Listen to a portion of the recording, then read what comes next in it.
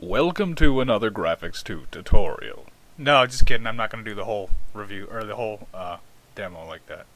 Anyway, today I want to get started about uh, and uh, talk a little bit about uh, transparency in GrafX2, uh, some different methods you can use, and kind of go through some of the blending modes they have for transparency. So I think first what I'll do is I'll start and I'll make kind of a scene that's um, uh, I'm just going to do like kind of a, a, slice of land and we'll put some water over the top of it just so you can see how the different modes work. So I'm going to start by putting a rectangle in here for some ground and then I'll go over the spray can tool and I'm going to use this range in multi-mode to get some really crappy grass. Nice crappy grass. Everybody loves crappy grass. Okay. Now what I'm going to do is I'm going to draw some water Actually, before I do that, oops, I want to actually get some brown speckles in here too. So let's go over to this. I'm going to shrink oh, the size down to something like 4. Uh, yeah, that'll be fine. And then I'm going to grab some brown colors, just so we have kind of a range. And, you and the reason I want to do this is the uh, the transparency isn't always really perfect when you have limited color, so I kind of want to show maybe some times where it's not so great. Oh. Let's look at my settings here. Oh, uh, that's right. This is this is the radius of it. I don't use this tool all the time. We want uh, 32 will be fine for the radius to spray within. The brush I'm going to shrink down to one pixel using default brush. And we're just going to sloppily put some texture in here um, just so I have some ground that's not just a standard block of color there. Okay, now we'll put in our grass. Oh, that was great. Uh, now we'll put in our grass here. My grass, your grass, everybody's grass. Uh, here, and I'm going to take, oh, I guess I had some green in there. That won't hurt nothing. I'm going to right click and take those out. So we'll just be using green now for the, the implied grass. It's going to be very ugly. I'm going to grow my brush a little bit here there we go. Get our ugly green grass. The green grass grew all around, all around. There it is. Okay. So you get a really ugly, you know, kind of abstract notion of a chunk of land here. So let's begin with drawing in some water. I think this blue will be a nice uh, watercolor. And as it is, I think I'll start by drawing just a standard rectangle. You'll see that, okay, no transparency. So that wouldn't work great for our purpose. Uh, one option you can do is you can go into uh, effects. Actually, they're all all the all the water or the transparent effects I'm going to show through here. The old school way to do it is with this sieve, and you'd set it up with something like this 50%. This doesn't work as good on modern monitors, but you can see, okay, there's a, there's kind of an impression of transparency there. Um, on the old monitors it looks great because they're fuzzy and it kind of blurs it in the eye, but you can see that it's just a checkerboard pattern. Uh, it does work pretty good. The nice thing about that is it'll actually work really well in layers too. So if you have a new layer, let me add a layer here, make sure it's blank, go to this layer. Um, this transparency will work because the transparent part of the layer below show through. So that's kind of nice too. You, let me turn this go to this one and turn this off, you can see that it works great on the layer. Um, I want to delete that out now. And now we'll go with the more uh, realistic transparency that's not going to use that dithering or that checkerboard, and that's in the effects menu here. There's a transparency button here, and we have four options. We have interpolate, which has an opacity component. Um, why don't we go through that first? So I'm going to select interpolate here, or interpolate whatever you choose to pronounce it as.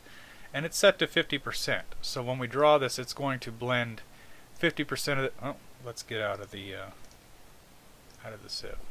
So when we draw this, it's going to blend 50% of the color with 50% of the background. And you can see, uh, it, for this it happens to work pretty good. The problem is, is when you're doing transparency and it's calculating these blended colors, it can only work with the colors you have. So if you have a very small palette or you have a palette that doesn't have a good spread uh, between the two colors you're using, it's going to just ignore uh, more of the detail. So Uh, we'll say this is 50%. Um, let me draw. We might actually do this in two chunks. So that's 50% opacity. Let's try it with a little bit different and we'll see how it goes both ways. Um, let's do 75%. And we'll draw Shift R again right next to it. I'm going to try and keep them fairly even. You'll see, okay, we lost a little bit of detail here because we didn't have uh, some of the colors required um, to properly blend like this color, whatever that pixel is there. So as you you have to kind of consider the colors in your palette. It's it's not going to be always just perfect, but it's always something you can try. The best thing to do is to kind of have a palette that has a wide range of hues and saturation and uh, value levels or, or, luminosity, one one of those. Um, the more variance you have between colors and the wider spread of colors, usually the better your the more colors you'll be able to um, blend and the computer will be able to fill in from your palette. So that was at 75. I'll put this here. I'm going to do, maybe we want to do one at 25 too. Um, so let's go ahead and try the opacity at 25%. This also I don't think will be very good given the colors we have. And I really should have done these in order, but oops. Actually, this one might turn out good. So I'll shift an R for a filled rectangle. I'll put one roughly the same size. Actually, that one turned out very good. So um, you can see that uh, it looks a little bit lighter. The water's not so uh, isn't so overpowering in this one. Oops, that's not 75, that's 25%. And really this depends on the colors in your palette. So it's not like Photoshop where it's going to be exact. It can only really use the colors you've set in your palette, so that's important to consider. But when you look down through here, this 25% looked good, 50% looks good, and the 75% we're starting to lose some of the fine details, and it's becoming uh, more and more opaque. Of course, I believe 100% opacity is going to be just a blue line. Let's go ahead and check that. Right click that. I think this will probably trample over everything, but we'll check it out. Yeah. Okay, so 100% opacity, it makes sense that nothing is going to show through. So if you're doing something transparent, you can always try this opacity stuff and see if your palette has enough midtones to fill in the detail. And that's one good option. Let's look at some other blending modes here. I'm going to go into Effects, Transparency, Additive Blending. Additive blending uh, means that the pixels that you're adding and the color are added to the value underneath. And it's easier to just kind of show you that than explain it here. Um, I believe opacity only only works with interpolate, by the way. At least that's the impression I get because it has a box with it.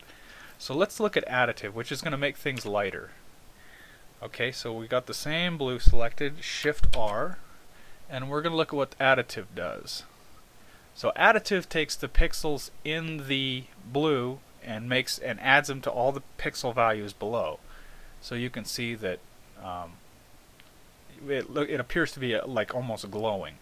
So let's let's see what happens with a darker color like black because the values for black you have to think are 0, 0, and 0 across the red, green, and blue. So technically if we draw with black I don't think it'll be able to do anything. See?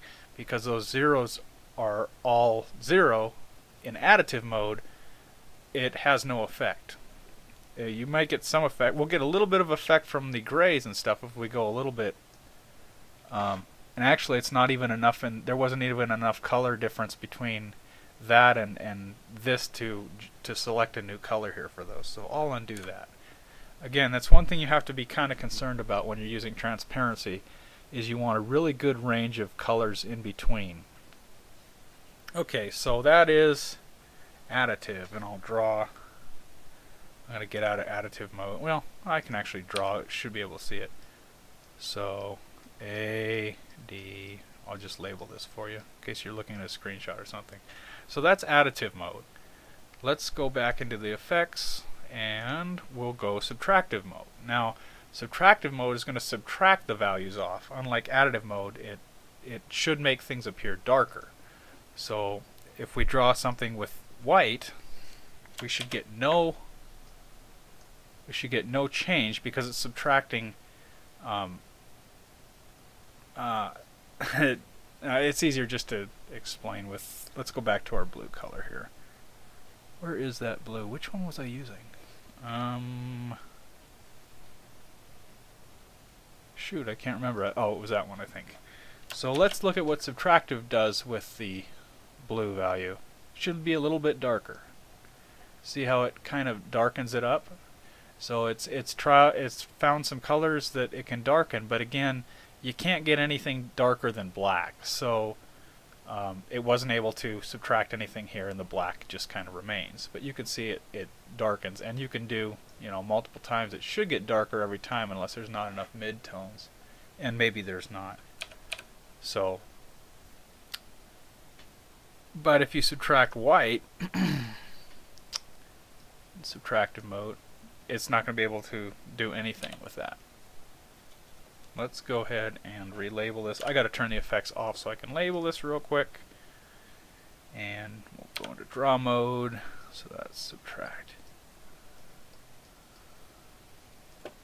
So if you're shading things, well, actually the shade tool is better for shading things, but if if you want to make uh, something that like sunglasses or something, you know, lenses, some sort of lenses or, or some sort of darkening glass effect, uh, subtractive might be the way you want to go because it darkens everything below. You can see it's even, it hasn't been able to change the brown so much because there probably wasn't a mid-tone that was close enough other than what's there. But it did grab some of the speckles and darken those, and it certainly gra grabbed some of the uh, the grass there and darkened that. I think there's one more mode here and we'll go alpha mode and this is alpha blending and uh, quite honestly I'm not I don't remember the algorithm difference between interpolate and alpha. Maybe interpolate's alpha with opacity I don't know. But alpha I remember usually goes fairly close to interpolate unless I'm way off which I don't think I am. Maybe I am.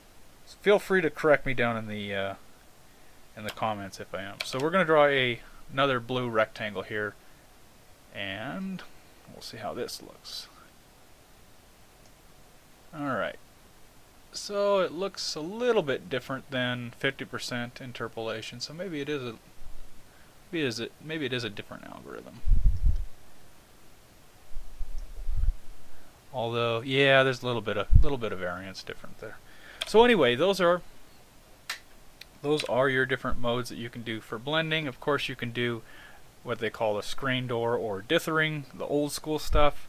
Those don't don't, don't usually look quite as good on a new monitor, and they don't quite look quite, and they don't work quite as well if the colors are very far apart. It takes, it's not as, um, not usually as uh, convincing that way. So what was this? Alpha. L P H A. Alright, I'm going to zoom out here.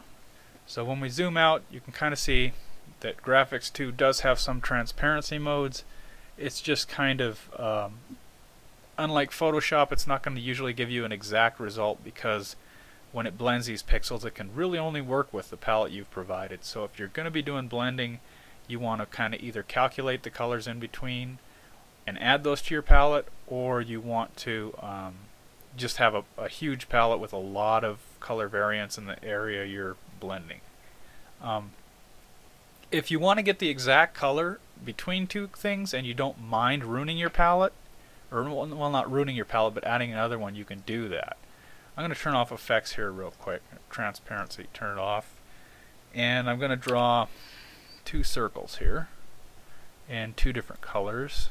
Uh, da, da, da, yeah. So I'm gonna have we're gonna we're gonna figure out right now what the exact color is between these, and I'm willing to ruin my palette by adding one extra color in. So let's go ahead and fill. Use the pipette and the fill tool, and we're gonna find the exact color of the overlap. Okay. So let's say we don't know this uh, color here. Let me just make sure I memorize. So okay, so that's that yellow, and this is that pure red. Okay. So I want to find the color in between. I'm really I'm willing to uh, ruin an index over this. How am I going to do that? Well, you could go to the spare page and mess with the palette there, and that'd be the cleaner way to do it. Then map the color back over. But for the sake of just finding the color, I'm going to ruin a few parts of my palette here. So the first thing we need to do is select this yellow. I'm going to copy it to an area I'm not using. This pink is fine. And the pure red, I think was this one here. I'll copy that and I'll paste it here. Now I'm going to drag my mouse over here using the left and I'm going to say spread. And this is should be the the color right in between those. So if I fill that in yeah that looks pretty good. It's, it's fairly convincing that that's a color directly between those. So if you want to find the exact color between two things you can always and you're willing to adjust your palette you can always uh, put them in there and you can um, find that transparency that way let's do one other thing here let's say that I want a range of um, let's say I want I want a, a ramp of five different transparency levels. So I'll copy here, I'll paste there, and then we'll do spread, and it'll spread between those two. So now we have kind of, we could do a transparency because we have red fading into yellow here. We could have multiple implied levels of transparency, or maybe, um, what am I trying to say, levels of opacity. Uh, they'd be implied. So I'm just going to draw with a brush kind of here and we'll kind of get that. I'm going to make it a little bit bigger here. That's good. So we'll start with yellow. Okay, and I use this uh, bracket key to move the, the uh, closing bracket key to move the next one down. So now you can see we have, you know, we have this nice gradient and we could have multiple levels of, you know, kind of implied opacity that way too. So I think that's going to do it for this tutorial. Um, I hope you learned something, especially uh, if anything, just keep in mind that the transparency effects are great when they work, but depending on your palette, they may or may not work as well as you expect. So um, I hope you have a nice day and keep doing art.